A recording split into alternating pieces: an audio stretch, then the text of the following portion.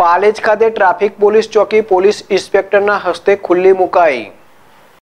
ભરૂચ જિલ્લાના પાલેજ સ્થિત પોલીસ મથક સામે આવેલા ફ્લાયઓવર બ્રિજ નીચે નવનિર્મિત ટ્રાફિક પોલીસ ચોકી પાલેજ પોલીસ મથકના પોલીસ ઇન્સ્પેક્ટર શિલ્પાબેન દેસાઈના હસ્તે ખુલ્લી મુકાઈ હતી.